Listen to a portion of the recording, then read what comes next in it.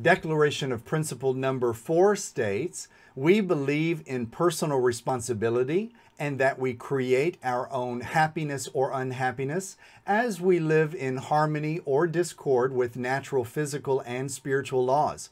Boy, that's a mouthful. But basically, what it's saying is, at its very core, we as souls have free will. Would you agree? Most religions, all religions, talk about that. Even the spirit world, when, when I sit in communication with them, they tell us that.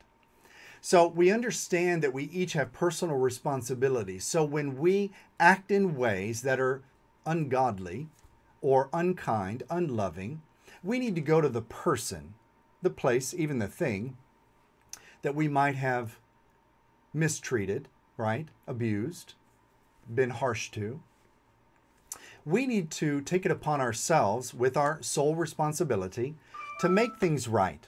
We want to make sure that we ask for uh, their forgiveness, that we do what we can to make things better, even adding more value than we originally intended. Because we're personally responsible. We don't believe in the principle, we do not teach in spiritualism and metaphysics uh, the Savior principle that there was someone who uh, had to be strung up on a cross and nailed to the cross and died and bled for us. That's not a principle we teach because we recognize that we as souls are responsible for our actions, our thoughts, our words, our actions.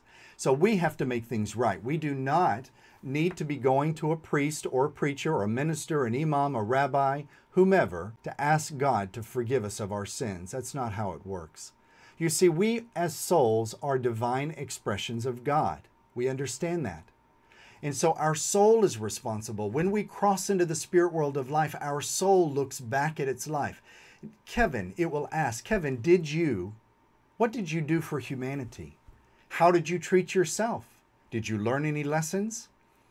What did you do about that situation where you took advantage of someone or something or a company or you abused your power, your situation? And so we are personally responsible. We need to go in in, in contemplation, prayer, and meditation and connect with that divine source, that God spark within, connecting in the higher mind. And we say, Divine loving Father, Mother, God, Divine Spirit, loving force of nature, whatever, however you wish to, to approach that, that creative, expressive, infinite intelligence, and just pour your heart out not in a begging way, but in a way that, that affirms your divinity, the perfection of your soul, and just ask for strength, inspiration, guidance.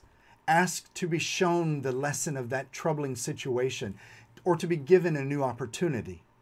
But especially if we have done something physically to another person or, or verbally in some way, we need to go and make make that right. We need to go knock on their door, pick up the phone. It's not about a text message or an email. We need to take the high road and we need to make things right. That's how a soul evolves.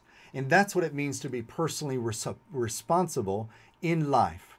Makes sense? Now, with that being known, let's jump into Declaration of Principle number five. So click the next video and I'll see you there.